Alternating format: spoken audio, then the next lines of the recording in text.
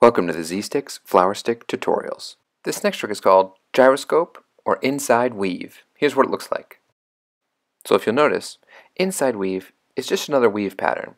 So if you haven't mastered Weave yet, go back and do so now.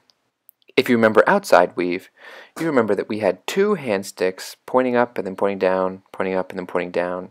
In Inside Weave, you're using both hand sticks again, but one is always pointing up and the other is always pointing down. To get this trick working right, you're going to want to make an X with your hand sticks. And the Z stick is going to spin from the inside of the X to the outside of the X. Flip your hands from top to bottom, and the Z stick will spin on the inside of the X again. Keep flipping your hands and spinning the stick on the inside and the outside of the X that your hand sticks make. Focus on keeping your hand sticks steady, and that will keep the Z stick steady. Take a second and look at this in slow motion. On the outside of the X to the inside of the X. Rotate your hands, go back to the outside of the X. One more time from Z-Stix Flower Stick Tutorials. It's inside weave or gyroscope.